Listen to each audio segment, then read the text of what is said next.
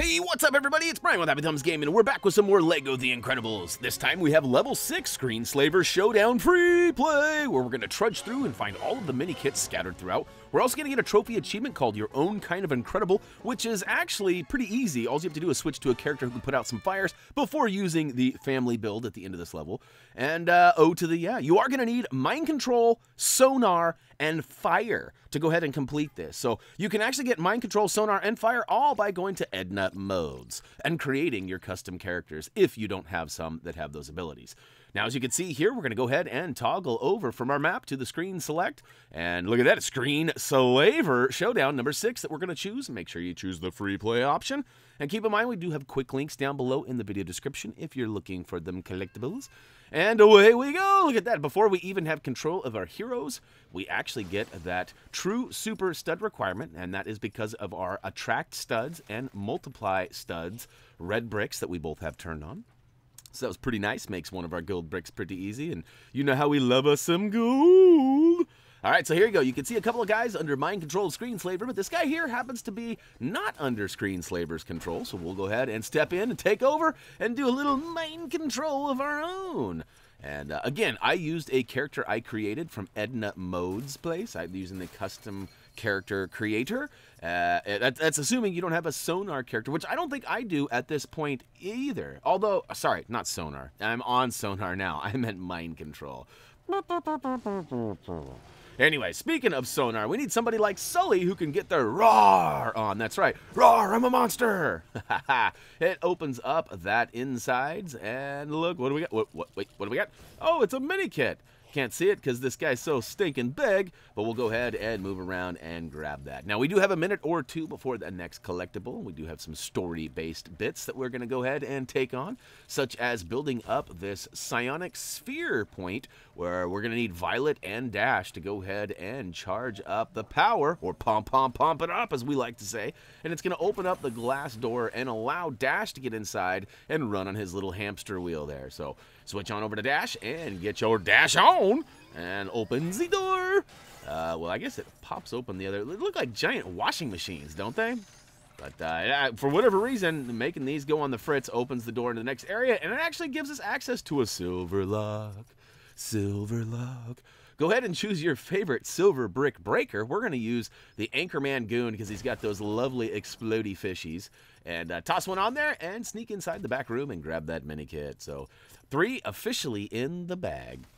Again, we do have some quick links down below if you are in a hurry to get to the next one, which happens to be number four. And that's not going to be until we get inside the vents here. Now, we've got Void, who's under the mind control of Screenslaver, kind of waiting to take us on here. But luckily for us, we have a character that can go invisible and sneak on by. So we're going to do that with Violet and then spin this wheel, which is going to raise this door a wee bit.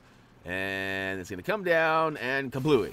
All right, it actually gives us the turn crank there. So we can go ahead and go invisible and bring that wheel right back over here, spin it around, and open the little hatch there. That's right, we got a hobbit hole we're going to sneak into, and that's where our next collectible is going to be. So, as you can see here, the mini kit number four has popped up now. Switch to somebody like Dash to get inside this little miniature area.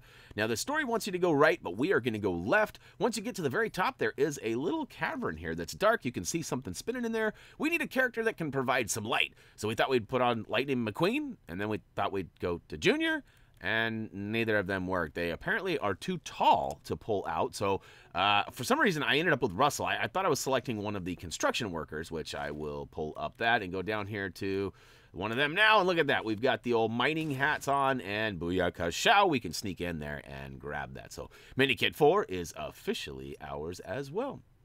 Now we can keep on keeping on and make our way all the way to the far right side where we've got this spinning wheel that we're cranking around, and it's actually going to blow some steam. And uh, Void is going to not be. Oh, actually, it's Crush Hour. Crush Hour is what because he uses the Super Destroy telekinesis right there. You can see it's red, and uh, he tries to take us down. We're, we're running back. We're gonna go right back through that Hobbit hole, which we can't do. So I'm gonna quickly switch to my other character, and now we're gonna actually use the portal wall in the back. Now you can use a character like Void or Jack Jack will get it done too. We also have a custom character that has the teleport ability as well. So once you get inside the hole, go ahead and smash the stuff on the left, and you should find a mini kit inside one of the taller pieces. And oh, to the yeah, you've got five. All right, back inside the portal we go. Sneak to the other side. We've got that switch that we can flip to go ahead and raise the roof, but uh, it doesn't do us much good as we're both through now. Uh, what we want to do now is head to the far right side of the area where there is a ladder. We're going to drop down and then switch to Edna Mode. Now, there are a couple of other characters that do have kind of the... Uh, uh, what is the ability? Uh, it's like a little robot. See, she's got like DJ Roomba. She's got a little robot that goes around, and of course, uh, we've got Ratatouille that does it too. Linguini can put out the little, little the little rat. And uh, so, anyways, uh, there are a couple of characters that can do that. Make sure you get all the way to the end. Press the red button, which is going to drop some bricks. We'll go ahead and build them up into a mini kit. And hey, if you're not already, be offhand. Go ahead and check us out on Facebook. Every week we do have a giveaway. Those giveaways consist of stickers, Lego sets, all sorts of things. We've seen T-shirts, hats, video games. Uh, lots of stuffs. And if you're into free stuffs, or at least opportunities at it, you should definitely check us out on Facebook. And uh, hopefully, you will be one of the next lucky contestants. All right, up we go in the elevator. Doesn't matter who you are, but once we get up here, we've got a bunch of fire. Now, this is not the fire you have to put out with Frozone in order to get that trophy achievement called Your Own Kind of Incredible. However, it is in the next room, so we got to go all the way to the end of the hallway with somebody with the violet brick building abilities. And we've got some of these bricks along the hallway here, so we're going to smash them and collect them. Once we get enough, it should start sparkling and indicate that we can make a master build here. This is kind of an interesting one here. We have a baby rattle. Uh, well, it's a good enough, though. It gets Jack Jack's attention, and he is in fire mode, so he's going to go ahead and melt the door with his heat ray. And here we are uh, in the room of doom. There's all sorts of people uh, actually in peril, almost on fire. But most importantly, in the very back of the room, we're going to go ahead and smash the cracked wall with somebody like Mr. Incredible. And in here, behind the Incredible brick that we need for the family build, there is a box. Smash the box, rebuild it into a mini campfire. Now we're going to have to switch to a character with the fire ability. Now, this is not Heat Ray, this is fire ability, and I had to go to Edna Mode's and create a custom character with the fire superpower. So uh, I mentioned that in the beginning. Hopefully, you guys had one before getting in here, but if not, it would be an okay time to go ahead and do that. Unfortunately, this is still the first area, so you'd have to replay the whole first section again to get here. So hopefully you followed my instructions. Now, speaking of instructions, uh, we also mentioned that there's a bonus trophy achievement for putting out all the fires without using the family build. So I'm going to go ahead and do that right now, as this is kind of a funny spot to try to load back into to get a trophy achievement later for a specific video. So uh, I've been kind of switching them up. Some I'm picking and choosing and doing in the levels. Some I'm not. Some I've got in the story. So uh, anyhow, we'll go ahead and get through them all together, I promise. Uh, but this is a fun one. Once they are all out, though, it should bling off up on your corner of your screen and give you what you need. Now, there is an Incredibrick over here, and as you can see, we do need three to advance the family build. If I'm being fully honest here, I was not sure that uh, we could get by without using the family build at all. The story doesn't seem to advance, so I, I end up doing the family build anyways, but not before putting out all these fires and getting that trophy achievement. Ready? Here we go. Wait for it. Wait for it. Bling! There we go. Your own kind of incredible. All right, so we do need one more Incredibrick. We're going to need somebody with telekinesis over on the right-hand side to lift up this giant oven. I mean, especially when you look at Jack Jack. Look how big that thing is. You can cook like five Jack Jacks in there. I know that's a terrible thought, but just saying. Go ahead and shake it up. Ooh. And look at that. It drops out the final Incredibrick. We'll take that. Thank you very much. And uh, now we'll go ahead and make this happen. Now, again, I, I, I, don't know if there's a way to get by this without having to do the family build. Really, it's not a big pain or anything because we already had all of the bricks. And spam, spam, spam, spam, spam, spam. That's right, completed them meters. And once they're all full, it's going to go ahead and take us away and give us a crazy... What is this? Oh, that's right. It's a big fire extinguisher. And here we go. It's going to spray and put out all the fires that we did not. And I think it's going to go ahead and take us away. Oh, look at all them studs. Got to get them all. Got to get them all. Because of our stud attract and our multiplier, we are at, well, look at that, 100 million studs. Now, we do have a psionic sphere spot. We're going to need somebody like Violet to go ahead and help us out. I'm not sure why. I guess there's a couple of other people that might have some psionic spheres too. I was actually unaware of that. Uh, whenever I get the sphere out, I always feel like I need Jack Jack. I don't know if you actually needed him for this particular one or not, but uh, put out the fires, and away we go into a cutscene, which has been removed. So here we are in the final battle scene. Now, there are four items scattered throughout that need to be exploded. I think it's four. Uh, maybe it's three. Let's see here. Nope, one of four things. I had to look at my cheat sheet. Uh, first one is going to be over in the far right corner of your screen. We're going to need a silver brick breaker to go ahead and toss something to get them exploded. Now, watch out, though, because there is a Screenslaver controlled Frozone that is uh, trying to take us down here, and he keeps shooting us with the uh, frozen ice balls. You wouldn't think a snowball would uh, make it that cold, but it's awfully brisk. Now, watch out too as Mr. Incredible is trudging around trying to take you down. Now, there are four of those silver items, and as you can see, we've got two of them that we took out in this first area. You might have noticed too that our mini kit number eight had part parts, right? Part part A, part B. I think that's what we. Do I do it one or two? I, I, I actually didn't look. I was looking at the screen. If I'm being totally honest. Anyhow, we've got two parts. We'll just call it that. And uh, the second part actually takes place once we get inside of the generator room. That's that's what we're calling it, anyways.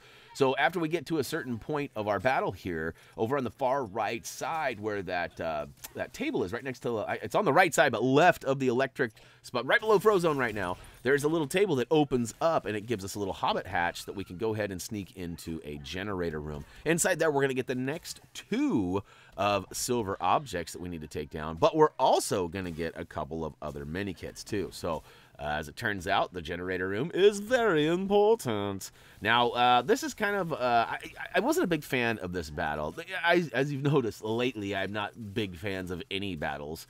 Um, you know, most of them kind of got away from the rule of three and often there's like mini battles and more battles and then more mini battles and like this guy we got to we got to avoid all these attacks from Mr. Incredible while avoiding attacks from Frozone while avoiding attacks from the other cronies too and it, it just seems a bit much but uh, once you finally get your way through it uh, like I mentioned before, Frozone goes ahead and freezes both Mr. Incredible and himself up in these big towers and uh, he drops some ice from the ceiling and eventually one of those falls and it gives us access into the generator room so uh, you just got to run around try to avoid these guys as best as possible and here you go one, one of these next ones is going to drop and pew pew right down on that kind of uh, it looks like some sort of like a, a, table or a computer station or something it's right there uh, just in front of me. there it is. Look at that. We got the little hobbit hole out now. We just need to get over there and get a character small enough that can sneak inside there.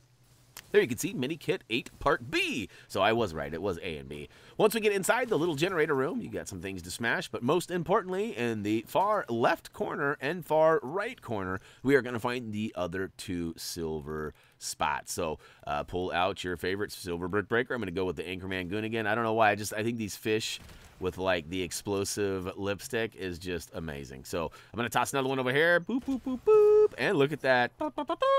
We've got mini kit number eight. Now over on the left-hand side, there is a giant green box. You see that right there? We're to do a butt slam. I took it down. It was kind of on the left side of your screen. And we're going to need somebody with the electric ability to go ahead and pom, pom, pom up this po uh, power terminal here. Easy for me to say, right? And uh, once we do, this little uh, machine's going to lift up and puke out a medikit. Look at that. We got it. All right. Now, last but not least in the mini kit departments, we've got one more inside this generator room.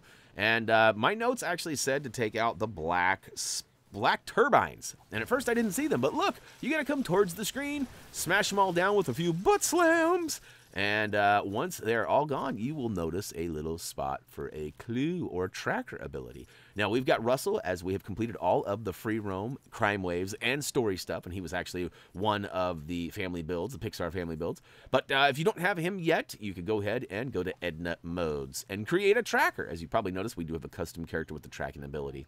Uh, follow the old spot all the way to the dig point. Dig up the old handle here. Put it on the spot that indicates on the far right side of the room. Spin that room's door open and booyaka show. We've got the 10th mini kit. And look at We can smash a bunch of stuff. And you know me. Got to get them all. Got to get them all. And I have 146 million studs in this level alone. Now, that's going to certainly help us get to that trophy achievement for I am a billionaire. Hmm? All right, hop in that hamster wheel, power up the, actually overpower the old boat power. I guess it's the boat generator itself. And uh, things go oury outside here. And Frozone is He's out for the count right now. So we're going to build up the bricks in the middle of the room, which give us this weird Elastigirl point. She's going to go ahead and grab Frozone, which we can hop on by using the icon indicated and aim Frozone over at Mr. Incredible to continue freezing him. Or you can be like me and pull Frozone out and do it on your own. Look at that. Here we go. All the way to the top. And all right. Actually, we still got to take out Mr. Incredible. See, we have freed Frozone, but Mr. Incredible is still not... Oh, no, Psych, it's Void. Void is the one we got to worry about. Or is it? Yeah, see, it is Mr. Incredible. So double Psych. Psych on the Psych. All right, we just got this point here in the middle where we have to use Frozone to go ahead and charge up or build up another frozen layer. I had a little bit of a funny angle there. It took me a second, but there is a sweet spot where you don't get hit by Mr. Incredible, and you can build that up. And look at that. It actually takes us... Oh! That should have been edited out! A little mistakey poo.